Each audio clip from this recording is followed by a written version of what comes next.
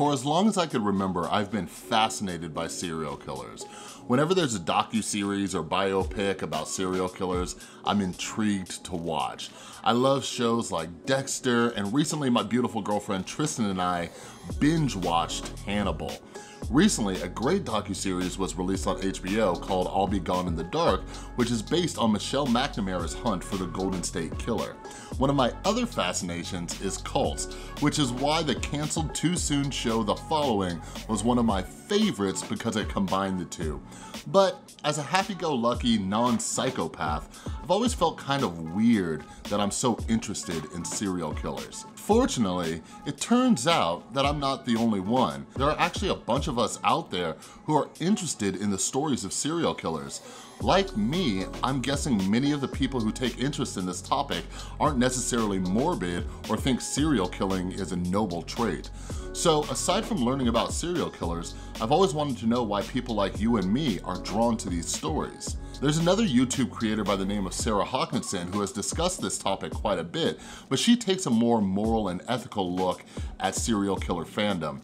In her videos, she discusses people who glorify serial killers by wearing their merch or even going as far as to get tattoos of them. Although she's a massive horror movie fan, Sarah Hawkinson believes it's morally wrong to romanticize these serial killers. I personally agree with Sarah that we shouldn't put people like Dahmer, Bundy, and others on a pedestal for their murders. Lives have been lost and families have been destroyed by these murders. But when it comes to our fascination with serial killers, I don't think it's about admiring people who have killed. It's something else. Aside from reading, watching, or listening to stories about serial killers, there are those who go even further. People have paid thousands of dollars for Charles Manson's hair or a painting from John Wayne Gacy. Then there are others who fall in love with serial killers. Serial killers like Richard Ramirez and Ted Bundy were bombarded with love letters. It'd be absurd to think that all of us who are interested in learning about serial killers would condone the heinous crimes committed by these people. But what about those who are more extreme? What's going on in the minds of those who buy murder memorabilia or fall in love with these serial killers? It also seems to be a bit reductionist to think that this entire group of people believes murder is okay. So what's going on? In this video, we're going to attempt to understand the psychology of those of us who are interested in the topic of serial killers. This is the second video in the series Supernatural Psychology. And now, you're probably wondering what serial killers have to do with the supernatural. Well, aside from psychology, we're going to be talking about our innate belief in essentialism, which often goes unnoticed. From learning about serial killers, to admiring them, to falling in love with them, we're going to cover it all. But before we get started, if you're new to The Rewired Soul, make sure you subscribe and ring that notification bell. On this channel, we practice critical thinking and skepticism while diving deep into topics to gain a better understanding of them. At The Rewired Soul, we believe that being a skeptic and practicing critical thinking is a great path towards improving our own emotional intelligence. So subscribe so you don't miss any upcoming video essays.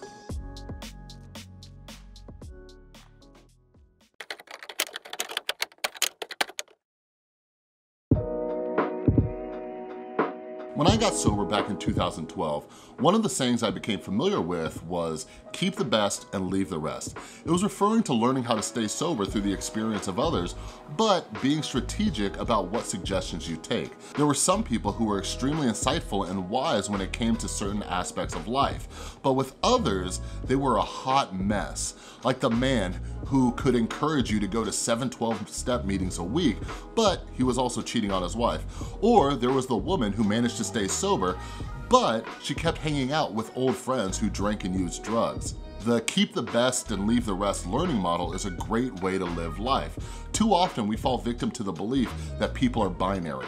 We see people as all good or all bad, but as people on a mission to learn and grow, we must be skeptical of that binary thinking and realize that humans are much more nuanced than that. Some of the worst people out there have traits that we admire, but due to the horn effect, we feel it's taboo to even acknowledge it. In the last video, we discussed the psychology of the halo effect, which is a bias that makes us think one good aspect of a person makes them all good.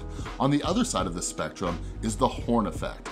This bias makes us believe that one bad quality of a person means that they have no traits that we can learn from or should admire. Due to the societal type of black and white thinking, it's no wonder that people like you and I feel a little weird about how interested we are in serial killers. Although I enjoy learning about serial killers, something in the back of my head is constantly saying, this is pretty twisted. But is there something psychologically going on that we don't realize? Dr. Julia Shaw may have some answers. Dr. Julia Shaw is a German-Canadian psychologist who specializes in false memories, but her range of knowledge goes far beyond that. Her true expertise is in criminal psychology, and she's often called upon as an expert witness in various trials. In a recent tweet, she says the following, I spent so much of my career as a scientist who studies criminal psychology saying, I don't do that, nope, not that either. Also, not that. I'm not a therapist, a profiler, a police officer, I don't directly interview offenders, and I've spent almost no time in prisons. Instead, I do research, try to understand why people do quote unquote bad things, write books, train police on how to use evidence-based interview approaches, and work as an expert witness who examines case files exclusively on the issue of false memory. If I knew or did all the things that people assume I do as a criminal psychologist, I'd need about 10 different PhDs. What do people get wrong about the area of your expertise of work?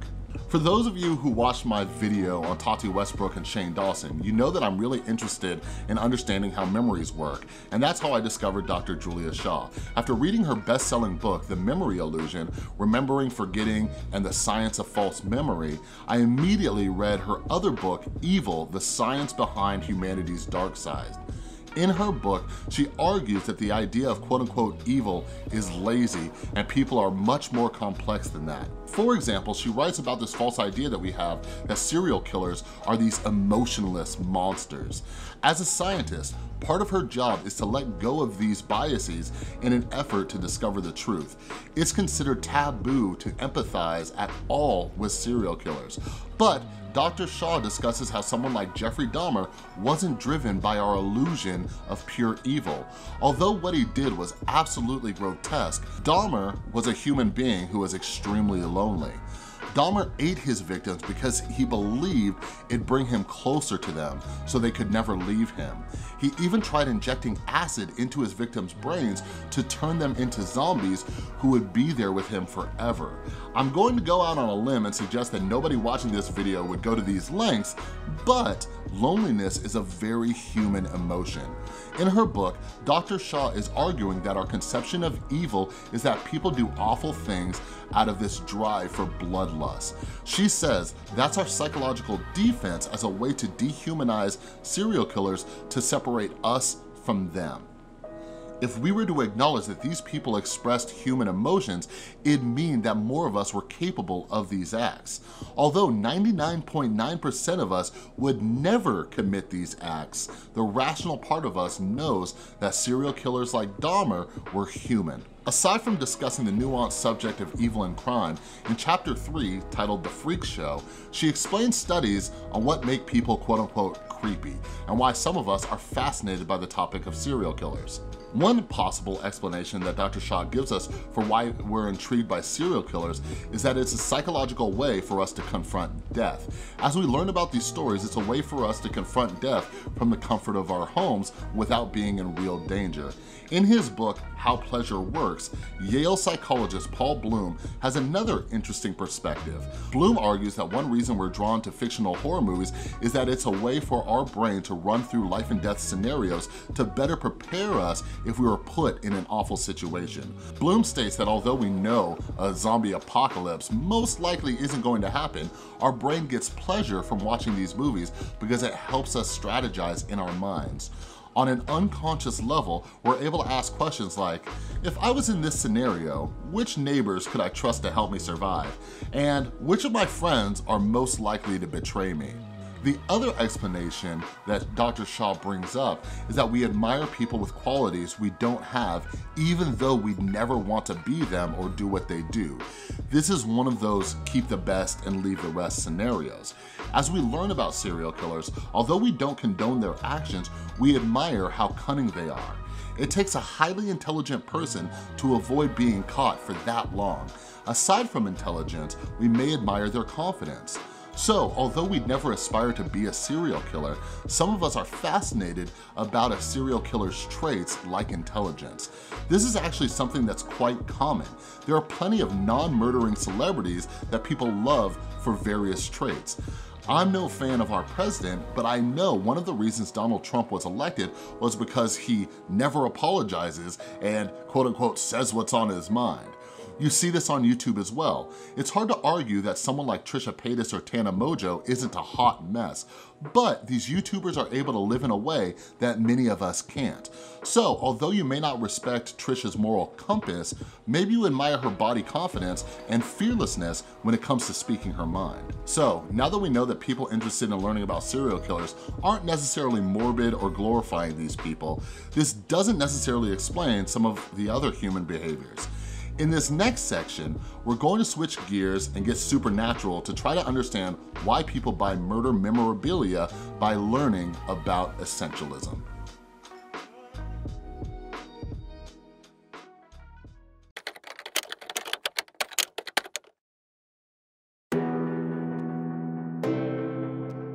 When I was a kid, I was absolutely obsessed with Buffy the Vampire Slayer. In fact, I even wanted to name my son Xander, but his mom only agreed to make his middle name Alexander. Each week, I watched Buffy and would watch reruns on repeat.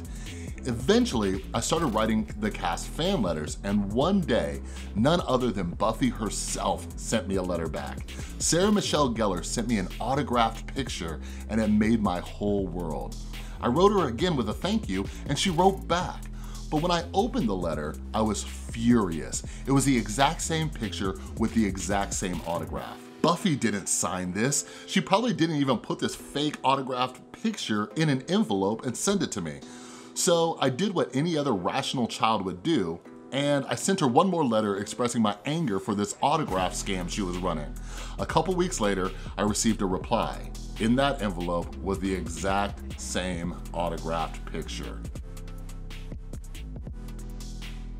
Aside from my tiny little heart being broken, there was something much deeper going on that's part of the human experience, and that is essentialism. Why did it make me feel so good believing that Sarah herself touched the envelope and photo with her very own signature?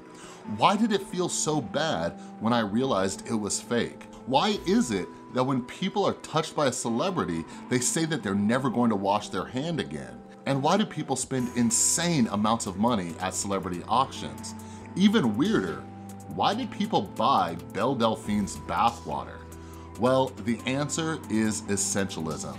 In his book Supersense, experimental psychologist Bruce Hood discusses the cognitive phenomenon of essentialism. Essentialism is our belief that objects have an essence to them. Essentialism is our belief that objects have an essence to them. This is also why I believe that that essence is attached to them and can be transferred. While we don't openly acknowledge this supernatural belief, it's one that most of us hold. And through Bruce Hood's studies, he's found that we develop it when we're young children. Bruce Hood and Paul Bloom, who was mentioned earlier, have done studies on children to see when they develop essentialism. In one study, they made children believe that one of their cherished possessions, like a toy or a blanket, was duplicated in a machine. They wanted to see if the children believed that an exact duplicate was as valuable to them as the original. What they found is that at a very young age, we see our possessions as having a certain essence that's special to us. For example, think back to your favorite childhood stuffed animal. If it were damaged or lost and your parents replaced it, would you value it as much as the original? Most likely not, because the new one doesn't have the same essence. So why do people pay thousands of dollars for Charles Manson's hair or paintings from John Wayne Gacy? Paul Bloom conducted a study titled Physical Contact Influences How Much People Pay at Celebrity Auctions. In the abstract, he states, Contagion is a form of magical thinking which people believe that a person's immaterial qualities or essence can be transferred to an object through physical contact. Here we investigate how a belief in contagion influences the scale of celebrity memorabilia. Using data from three high-profile estate auctions, we find that people's expectations about the amount of physical contact between the object and the celebrity positively predicts the final bids for items that belonged to the well-liked individuals like John F. Kennedy, and negatively predicts final bids for items that belong to disliked individuals like Bernie Madoff. So their study indicated that we'd pay more for something that was touched by a well-liked individual, but why do people pay so much for serial killer memorabilia? Well, as we discussed in the last section, there are certain qualities that people do admire about these killers despite the person being a killer. What's even more fascinating is what they found in a follow-up experiment. The abstract says as follows, a follow-up experiment further suggests that these effects are driven by contagion beliefs. When asked to bid on a sweater owned by a well-liked celebrity, participants report that they would pay substantially less if it was sterilized before they received it. However, sterilization increased the amount they would pay for a sweater owned by a disliked celebrity. Think about that for a second. How much would you pay for something worn by your favorite celebrity? How much would you pay if it was sterilized? If you're like most people, you'd pay less. But why? Because sterilization once again affects our magical thinking and we believe that part of a person's essence has now been removed, this also explains why people would pay more for a sterilized item from a disliked celebrity. This form of supernatural thinking also explains cannibalism. In a future video, we'll dive into that supernatural psychology, but some people believe they absorb a person's strengths if they eat them. But is this true for essentialism when it comes to items as well?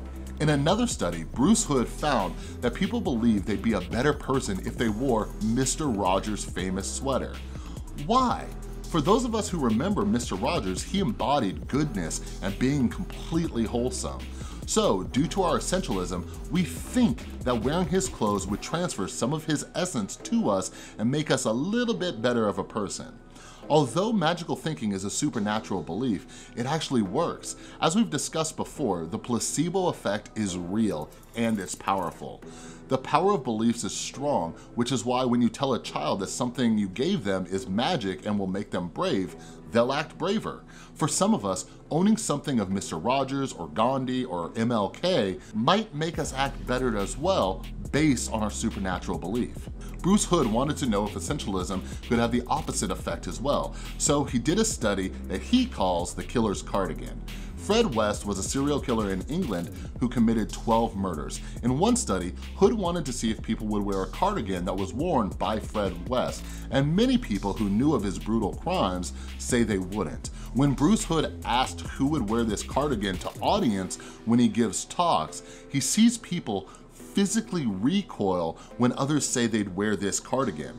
Why? Because of essentialism. But remember, the essence of a serial killer is different from person to person. For some people, they'd be honored to wear a killer's cardigan.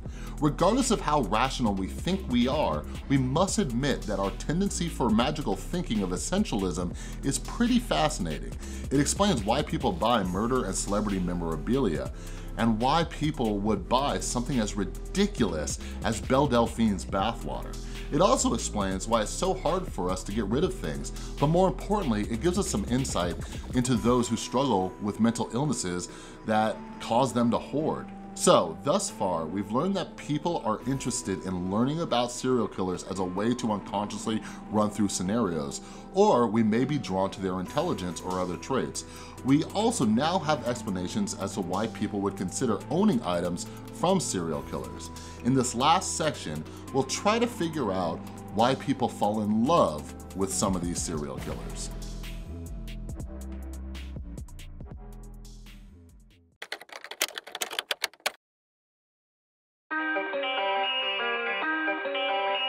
We all know people who fall for the bad boy or bad girl. While some people go for the motorcycle riding boy in high school or the tattooed girl, falling in love with a serial killer is on a whole different level. We're no longer discussing attraction to someone who is a little on the rebellious side. This is someone who has been convicted of murder. In this final section, we're going to dive into a little psychology. But we don't have time to get into the psychology of why you're attracted to certain people. I've actually covered this in a previous video titled Why You Date, Who You Date, which will be linked up in the info card. Today, we're going to be discussing the psychology behind conventionally attractive people getting better treatment than most. Believe it or not, there have been a ton of psychological studies on this subject. Based on the research, we know why people like Ted Bundy and Richard Ramirez received more love letters than Ed Kemper. In 2019, there was quite an uproar about the casting of Hollywood stud Zac Efron playing Ted Bundy. People were upset that casting this attractive man and making him a sex symbol in the movie was morally wrong and a disservice to the victims. But many women were attracted to the real Ted Bundy despite his vicious murders. Going back to the halo effect, for some reason, we perceive attractive people as less dangerous. One of the most recent examples of this went viral in 2014 and it's the story of Jeremy Meeks, AKA the hot felon. When his mugshot was released, women and men alike could only talk about how attractive Meeks was. After being released in 2016, he even began a modeling career. Although Jeremy Meeks is attractive, he wasn't in prison for some traffic violations or something minor. In 2002, he was charged with robbery and corporal injury to a child. He was also a member of the Northside Gangster Crips, and in 2014, he was charged with felony possession of a firearm and grand theft. But for some reason, these crimes are dampened due to his physical appearance. In her book, Evil, Dr. Julia Shaw discusses our intuitions about whether a person is creepy or trustworthy. She cites a 2008 study where participants rated 34 people on whether they were trustworthy or not based on photos alone. Half of these people were trustworthy and the other half weren't. How did the researchers decide who was trustworthy? Half of these photos were of Nobel Peace Prize winners, and the other half were men on the America's Most Wanted list. The results? Basically, we suck at knowing who is trustworthy or not because we use arbitrary features like a person's appearance as a compass. Shaw also cites a study to see what people categorize as quote unquote creepy. They categorize creepy men as typically lanky or awkward. Think about that for a second. The top traits of quote unquote creepy people were features completely out of their control. This is a prime example of the halo effect. Think about your favorite romantic comedy.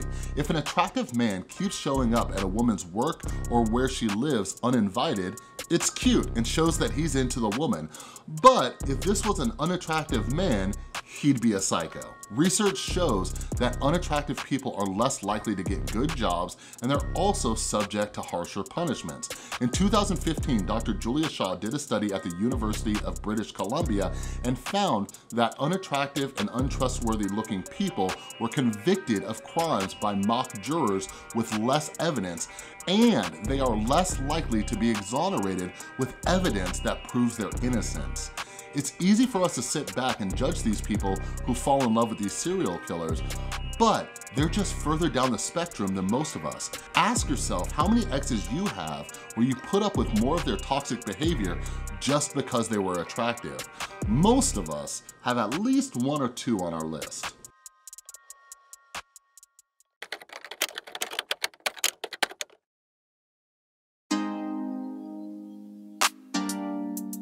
As much as people like to talk about how terrible technology has made the world, I often think about how it's definitely decreased the amount of serial killers. As I watch documentaries like I'll Be Gone in the Dark or ones about people like Ted Bundy, I can't help but think about how much sooner they'd have been caught if they had security cameras back then or social media. Today, it's a common practice for a woman to share her location with her friends on a first date just in case. And if I'm being honest, I did the same thing back in my single days. When we think about fear and anxiety, we think about them as these negative parts of what makes us human. But as we discussed, Some of us who are fascinated by serial killers are on a higher alert because we're mentally running through these scenarios on a regular basis. Having a healthy amount of anxiety keeps us safe and on the lookout for suspicious activity. But we also need to remember that our gut feeling isn't always accurate. In this video, you also learned how we instinctually believe that attractiveness means trustworthiness, but that's not always the case. We also learned that even if we're not suspicious, many of us still have supernatural beliefs when it comes to essentialism.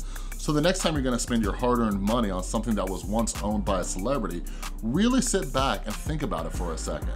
Although the essence of the celebrity may have a placebo effect on you, you don't wanna break the bank on it. And if you're like me, ask how much you're really willing to spend on going to a concert. How much is that experience worth and why?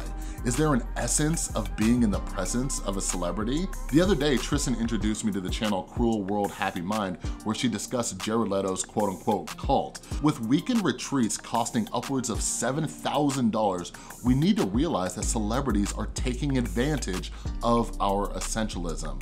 But finally, if you gain nothing else from this video, I hope you realize that there are some good reasons why you're fascinated with serial killers. Like me, you're not glorifying or romanticizing these killers, but you're interested in the subject because you're a critical thinker and love to learn. All right, everybody, thank you once again for making it all the way through this video, and I hope you learned some new fascinating stuff about serial killers and essentialism and all that. And like I said, I found it really interesting that one of the reasons that we are interested in this or even like scary movies, it helps our brain run through these scenarios. Like anxious people are much more prepared on average than other people. But for some of us, like I actually have anxiety disorders, so I do therapy and everything like that. And as you know, here at The Rewired Soul, huge advocates for mental health. So if you need help, don't be afraid to ask for it. I personally use BetterHelp Online Therapy and every video down in the description below, there is a link to BetterHelp Online Therapy. It's an affiliate link. So what that means is that you get affordable online therapy and a little bit comes back, supports the channel, and helps me out for all the work that I put into these crazy long video essays.